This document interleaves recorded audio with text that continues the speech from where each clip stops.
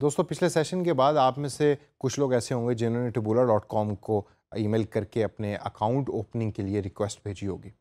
अब as an advertiser जब आपने कैंपेन को क्रिएट करना है तो उसके लिए भी आपको रिक्वेस्ट एग्जैक्टली उसी तरीके से भेजनी पड़ती है, जिस तरीके से आपने पिछले सेशन में एज ए पब्लिशर भेजी थी।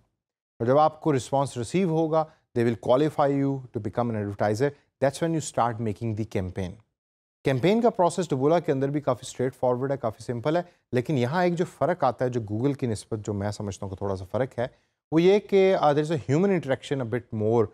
in Taboola as compared to Google आपके साथ सेल्स का एक बंदा अटैच होता है आपको कोई भी किसी किस्म का इशू होता है uh, तो then they are there to help you out and to assist you हमने सी वे सीना डॉट कॉम की एक एग्ज़ाम्पल को देखा था कि जहाँ एड्स किस तरीके से अपीयर हो रही होती हैं और वो एड्स बिल्कुल कंटेंट की तरह ये उससे मिलती जुलती होती हैं। तो एज एन एडवर्टाइज़र जब आप एड्स को पोस्ट भी कर रहे होते हैं तो आप ये चीज़ जहन में रखते हैं कि जिन वेबसाइट्स के लिए मैं कैंपेन बना रहा हूँ, या जिस तरह की वेबसाइट्स के लिए मैं कैंपेन बना रहा हूँ, मेरी जो थंबनेल है, जो पिक्चर है, जो उसका नीचे टेक्स्ट है उससे मिलता जुलता होना चाहिए।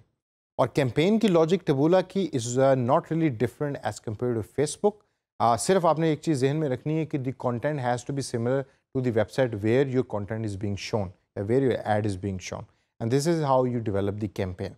और अब आपके सामने अगर आपके पास अकाउंट नहीं है टबूला का तो you can actually not make a campaign लेकिन as an advance freelancer मेरी आपको सजेशन होगी कि अगर अभी तक आपने रिक्वेस्ट टबूला को नहीं भेजी तो जाइए दोबारा टबूला डॉट कॉम वेबसाइट के ऊपर और contact them and send them your details and request them to make you the advertisers